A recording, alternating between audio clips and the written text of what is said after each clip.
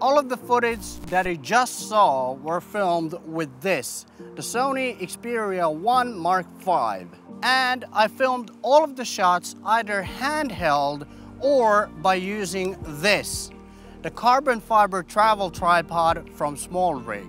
Even though this video was filmed using the Xperia 1 Mark V, it doesn't really matter what smartphone you have because these tips will help you make better videos. Now real quick, let's talk about the camera settings. When filming with the Xperia 1 Mark V, I like to use the Video Pro app because it allows me to control all of the settings manually but it doesn't feel too confusing or daunting even if you're a beginner.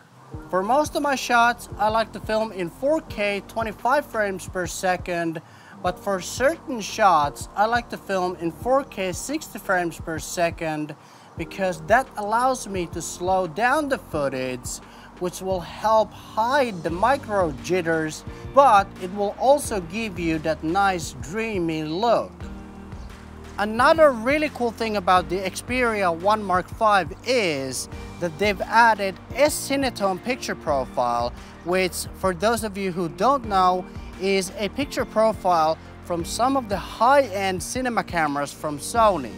And that picture profile requires very little color grading while still looking very cinematic. My first tip is to add depth to your shot. The opening shot was a slider shot where the camera moved from left to right and I used these tree branches and leaves as foreground, slowly revealing the sign over here. For this shot, I used the focal length of 85 millimeters and in order to get a smooth movement from left to right, it's very important to do most of the camera movement by moving your body instead of using your hands to do the movement.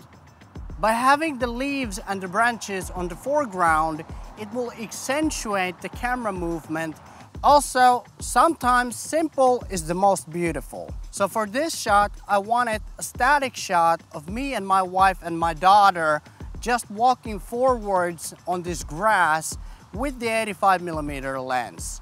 I tried my best to have all three of us in the center of the frame for two reasons. First of all, it looks visually pleasing and it accentuates the importance of the characters for the story. Also, it's a good idea to film the environment to give some context of the place.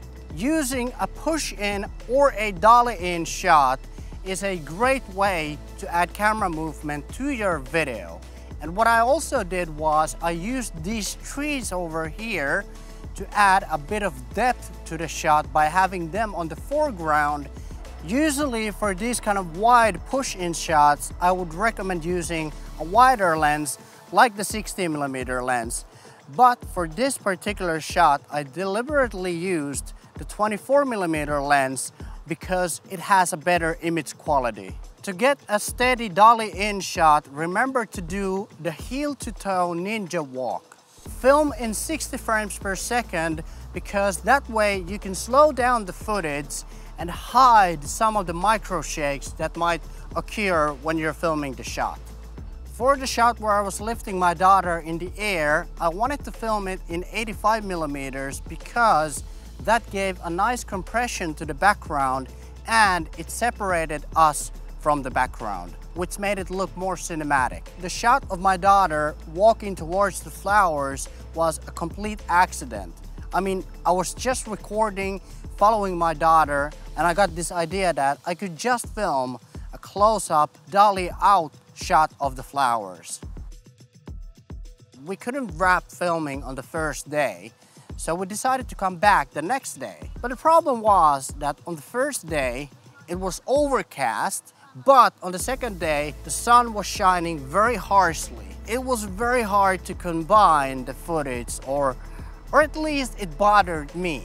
So I had to come up with some kind of an idea how to finish the video, get the rest of the shots, and combine them into a cohesive piece of video. The solution was combining two different shots. One shot from the previous day and the second shot from the day we came back. So essentially what I ended up doing was this kind of a masking transition. And we ended the video with this shot of me and my wife having some ice cream. And here's the full sequence one more time.